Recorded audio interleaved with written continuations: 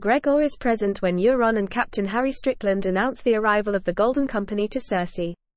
Afterwards, Euron makes another move on Cersei, but Clegane stops him from proceeding with a menacing stare. Nevertheless, when the Queen finally allows Euron to have his way with her, Clegane does not intervene.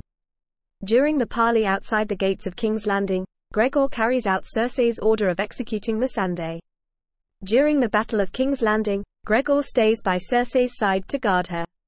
After Qyburn convinces her to flee from the Red Keep, he protects them both from the debris falling as a result of the Red Keep crumbling due to Drogon's attack.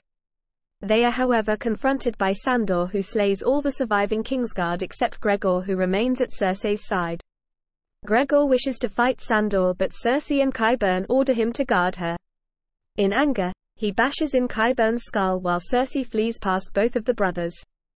In the ensuing duel, Sandor proves himself better at sword fighting than Gregor and stabs him, but he doesn't die due to his reanimation. Gregor proceeds to brutally thrash and choke Sandor who stabs him many times in vain.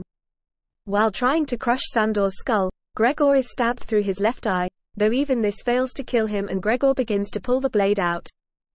Seeing this Sandor tackles Gregor into a crumbling wall, leading to the both of them falling from the Red Keep Tower to their deaths in the burning chasm below.